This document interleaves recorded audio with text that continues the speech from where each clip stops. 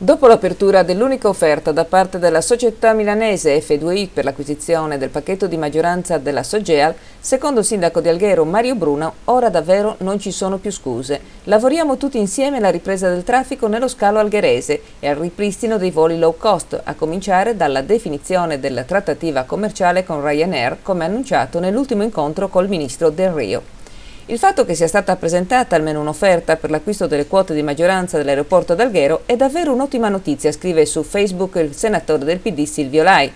F2I, continua Lai, è un fondo partecipato dalla Cassa Depositi e Prestiti e da investitori istituzionali, specializzato negli investimenti infrastrutturali, compresi gli aeroporti, ed è in grado di razionalizzare l'attività e rilanciarla con politiche verso le compagnie low cost in tempi brevi.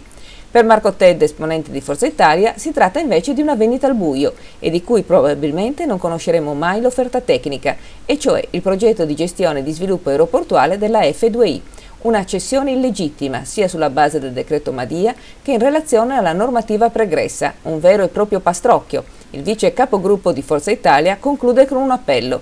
Cercasi disperatamente una giunta regionale che faccia gli interessi dei sardi e non di quelli degli amici degli amici.